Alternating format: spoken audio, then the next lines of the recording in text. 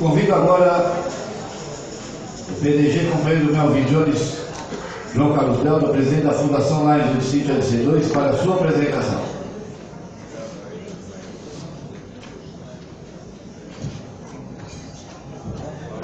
Bom dia a todos. Primeiramente, peço novamente desculpa ao governador, nosso atraso, no termos eleitoral tivemos convenção partidária por isso nosso atraso.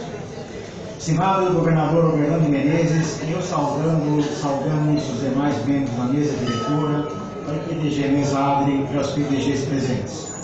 Estimado primeiro vice-governador Valdo Wilson Miranda, e o saudando cumprimentamos a todos os demais companheiros aqui presentes.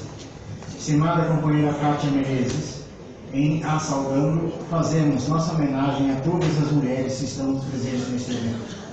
Meus queridos companheiros e companheiras, com muita honra, por indicação do nosso governador, fomos eleitos presidente da nossa Fundação Lions do Distrito LC2, que passa a utilizar o nome fantasia de Fundação Lions João Fernando Sobral, em homenagem ao nosso saudoso e querido pasta presidente internacional.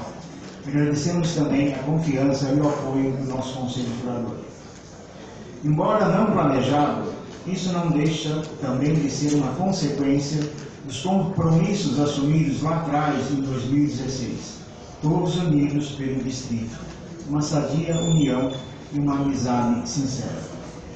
Agradecemos ao companheiro Francisco Barbosa, nosso último presidente da Fundação, agora membro do Conselho Curador, pelo seu trabalho nesses últimos sete anos, mantendo a Fundação em situação estável e saneada financeira e contabilmente uma grande vitória, dada a situação de penúria que vinha vivendo. Nós tivemos mais sorte. O Conselho Curador também trabalhou muito durante a gestão recém-finda, durante a qual fomos seu presidente, sendo que redigimos um novo estatuto totalmente reformulado, corrigindo antigas falhas e, principalmente, responsabilizando o desvio de condutas ou desídia na gestão dos seus bens e, finalmente, dando forma ao seu regimento interno. Lembramos que a Fundação é muito diferente do Distrito e que respondemos e nos submetemos à curadoria das fundações do Ministério Público de São Paulo. Criamos também o Fundo de Apoio da Fundação, separado das contas da Fundação, para com ele podermos auxiliar os nossos clubes em seus projetos beneficentes, ou mesmo complementar os subsídios de LCIF. Mas lembramos que para isso temos de receber doações. É do que vive toda entidade beneficente ou filantrópica. Contamos com o apoio de cada companheiro e companheira para termos uma fundação forte e pungente, como merece o nosso distrito LC2 e o nosso Lagos. Suas colaborações serão devidamente reconhecidas teremos a figura do colaborador associado, o diploma de benemérito e, além do honroso e exclusivo troféu Pipe João Fernando Sobral para doações para o Fundo de Apoio. Temos vários companheiros, companheiros e companheiras, principalmente companheiras, já trabalhando conosco, desenvolvendo atividades na e para a Fundação. Devemos destacar também a parceria com a Escola Paulista de Medicina, iniciada na gestão do companheiro Barbosa na área de pneumologia.